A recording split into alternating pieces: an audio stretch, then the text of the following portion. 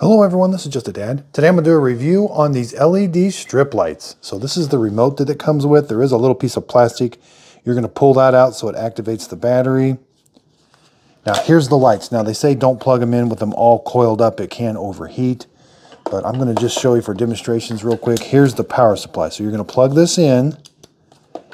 Okay, and then this plugs in here to this.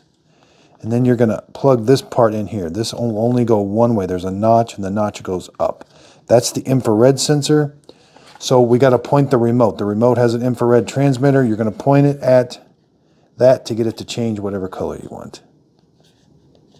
Look at, yeah, the colors look really bright. I can do all kinds of different one hour timers and different things. I can different uh, modes I can have.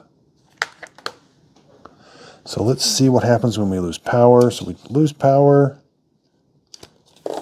turn them back on.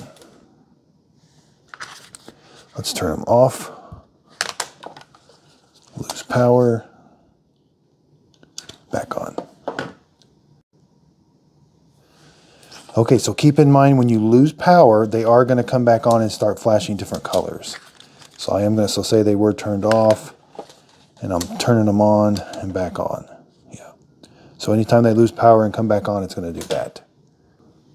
So you can cut this to length. So you cannot cut it, you can only cut it in this place right here where it says to cut.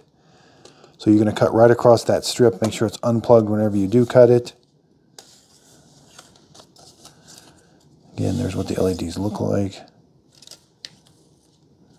Now you're not going to cut it there. There's kind of like some soldering right there. Now the light does have two strip uh, tape on it, so you can peel the back off here. Then you can stick these anywhere you want. So there's already tape on the light ready to go.